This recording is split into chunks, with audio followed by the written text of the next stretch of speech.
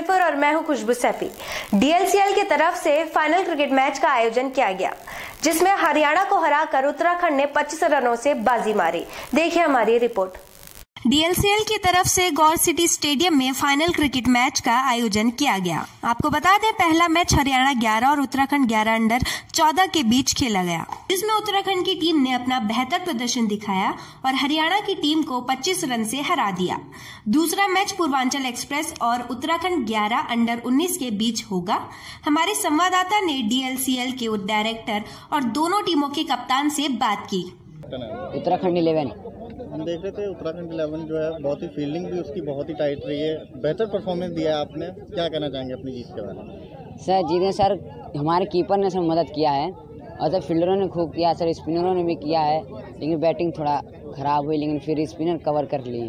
कहीं पे एक टाइम पे आके लगा था कि मैच हार जाएँगे? हाँ सर हम उन टीम के मेन बैट्समैन सर यही है हमारे कैप्टन ही हैं। तो सर इन आउट होने खुशी से जीत गए लेकिन सर बीच में आगे उनके कीपर ने मैच बना दिया लेकिन फिर मेरे स्पिनरों ने बैकअप किया वापसी की तब जीत गए हम लोग। क्या नाम है आपका? सर आविष्कार वत्स सॉरी आविष्कार वत्स। अविष्कार मैं ये ये जानना चाहता हूँ कि आप हरियाणा के कैप्टन हैं आप तो बेहतर परफॉर्मेंस नहीं रही है। बै, बैट बैटिंग में जो है वो थोड़ी कमी देखी गई। क्या कहेंगे? सर बैटिंग में भी वो ओपनर को थोड़ा अच्छा स्टार्ट देना चाहिए था पर वो विकेट पे ही ऐसी थी थोड़ी। स्पिनरों के लिए हेल्पफुल थी सर फिर भी मिडल ऑर्डर को भी थोड़ा खेलना चाहिए था बीच में। और सर आज हमसे भी रन अच्छे नहीं लगे। सर इनके बॉलरों ने भी बहुत अच्छी बॉलिंग करी और सर फील्डिंग भी बहुत माइंड ब्लोइंग अच्छी फील्डिंग करी इन्होंने।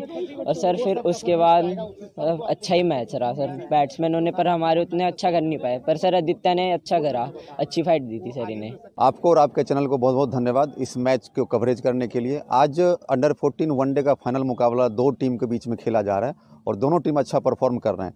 डीएलसीएल का मकसद है कि जो टैलेंटेड बच्चे हैं, चाहे किसी भी फैमिली से बिलोंग करें, उनको अच्छा प्लेटफॉर्म दे के और प्रोत्साहन राशि भी देना, जैसे कि हम लोग टॉप पंद्रह बच्चे जो निकलेंगे, उनको स्पॉन्सरशिप करेंगे और जो प्लेयर ऑफ़ द टूर्नामेंट होगा, उनका फिफ्टी वन थाउज़ेंड का कैश प्राइज है। इन बच्चों को मोटिवेशनल अमाउंट है ये।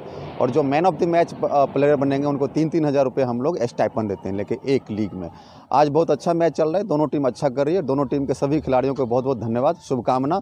मेरे तरफ़ से दोनों टीम विनर हैं, लेकिन क्रिकेट है, हार और जीत का खेल है तो कोई ना कोई एक टीम हारेगी और कोई ना कोई एक टीम जीतेगी।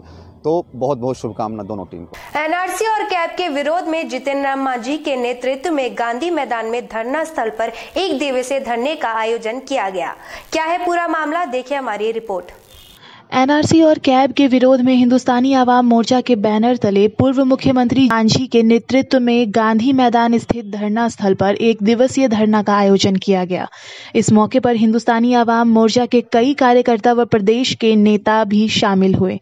इस मौके पर बिहार के पूर्व मुख्यमंत्री मांझी ने कहा कि देखिए, अभी एनडीए की सरकार, जिसका मुखिया नरेंद्र भाई मोदी जी हैं, इस देश में एक से एक कानून ला रहे हैं, जिससे इस देश की विखंडता एकदम संभव है। यानी हिंदुस्तान का बंटवारा हो जाना है, ऐसा वे कर रहे हैं। उनकी मान्यता है कि पाकिस्तान, अफ़गानिस्तान और लंका, ये सब इस्लामिक राष्ट्र हैं तो हिंदुस्तान भी एक हिंदू हिंदू राष्ट्र बने। हम समझते हैं उन तीनों देशों की स्थिति अलग है। जहाँ तक हिंदुस्तान का सवाल है न एक धर्म का है, न एक जात का है और न एक संस्कृति का है, न एक वेशभूषा का है। यहाँ अनेकता में एकता यही हमारी विशेषता है और हमारी संविधान का मूल धारणा भी यही है। लेकिन हमारे संविधान की धज्जी उड़ा करके एक कोशिश कर रहे हैं कि हम इसको हिंदू राष्ट्र बनावें और इसी के चलते नागरिक संशोधन कानून इन्होंने पास किया है, जिससे समूचा हिंदुस्तान के लोग आंदोलित हैं।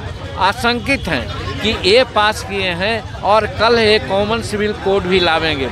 इस तरह से हिंदुस्तान के जो रहने वाले लोग हैं, उन पर अनेक प्रकार का कठिनाई और सहमत आने वाला है। इससे लोग आशंकित हैं और यही मांग है कि नागरिकता संशोधन कानून को वापस लिया जाए। हम लोग का भी कहना है कि सिर्फ़ पाकिस्तान, अफ़गानिस्तान और बांग्लादेश की बात क्यों किया जाता है? क्यों नहीं म्यांमार की बात की जाती है? क्यों नहीं भूटान की बात की जाती है? क्यों नहीं लंका की बात की जाती है?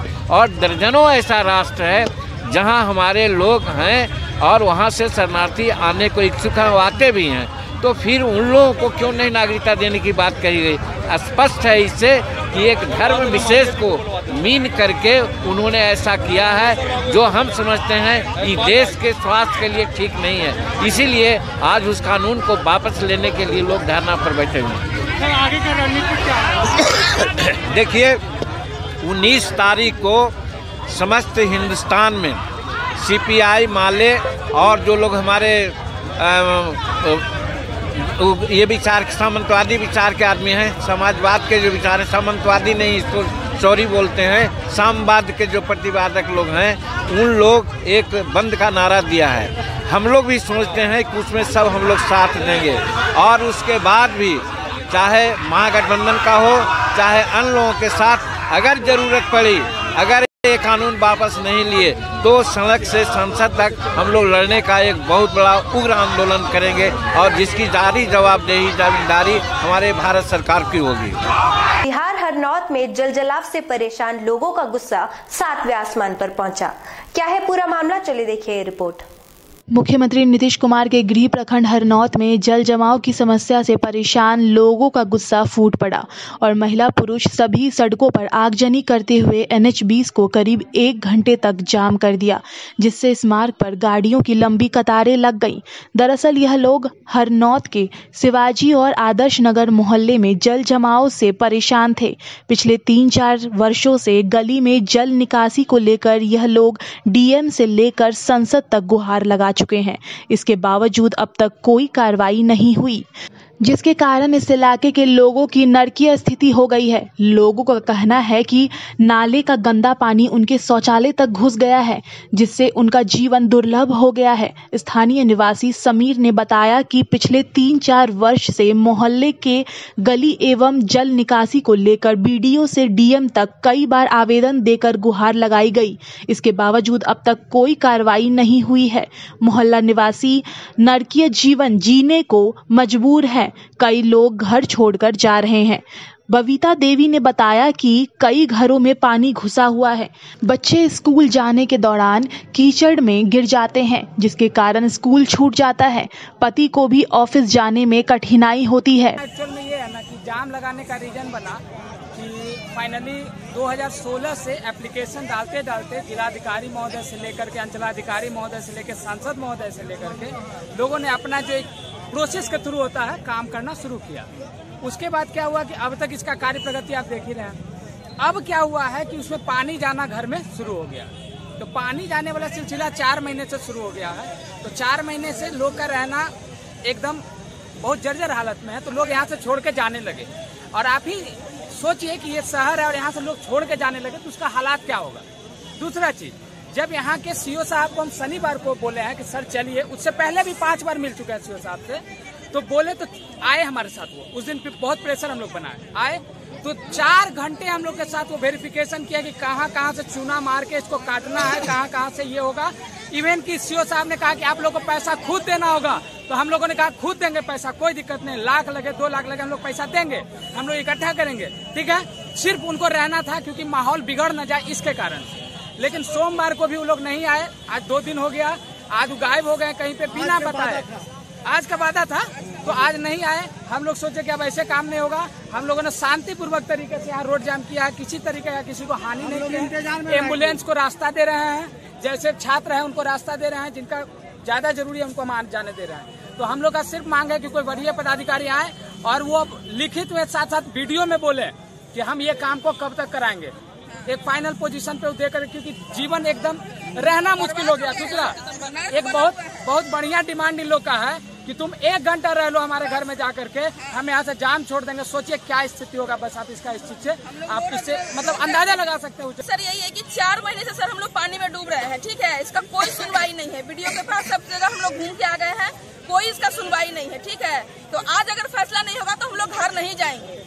एक पैर हाथ टूट रहा है, पति ड्यूटी जा रहे वो गिर रहे हैं, स्कूल के बच्चे जा रहे हैं, रोज भीग के स्कूल जा रहे हैं गिर गिर के। ये कोई तमाशा नहीं ना है? हम लोग चक्कर काटते रहे हैं, पागल है हम लोग पब्लिक। हाँ? कोई सुनवाई नहीं है। खाली जाना है, वहाँ से आ रहे हैं वो लोग, जैसे बच्चा रो रहा है, उसको चॉकलेट पकड़ा दिया, बच्चा चुप हो गया। आए, एक तस्वीर खींच ली और चले गए वापस। क्या है, हम लोग पागल थोड़ी हैं? बच्चा स्कूल पर नहीं जा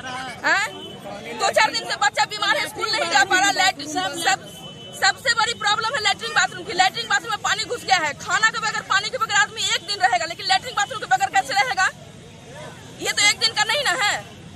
कोई इसका सुनवाई नहीं कोई इसका रिएक्शन नहीं लिया जा रहा है। क्या नाम है आपका? मीनाक्षी सिंह। जिसके वजह से क्या हम लोग इस स्थिति पे आज खड़े हैं और इसका फैसला हम लोग करके तो ही घर जाएँगे। दर्शकों आज के लिए बस इतना ही। बाकी तमाम खबरों को जानने के लिए देखते रहिए खबर इंडिया 24 हर खबर सबसे पहले।